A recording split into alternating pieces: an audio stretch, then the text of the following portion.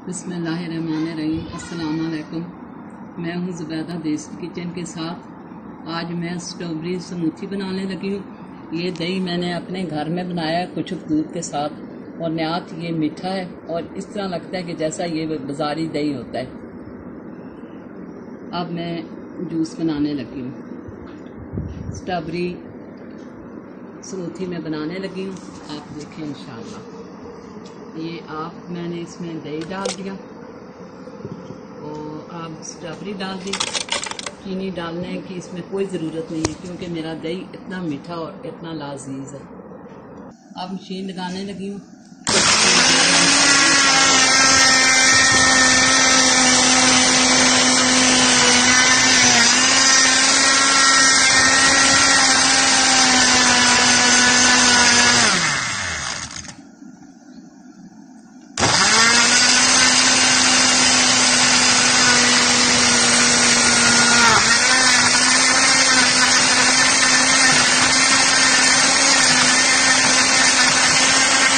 देखिए मेरा strawberry smoothie तैयार हो चुका है।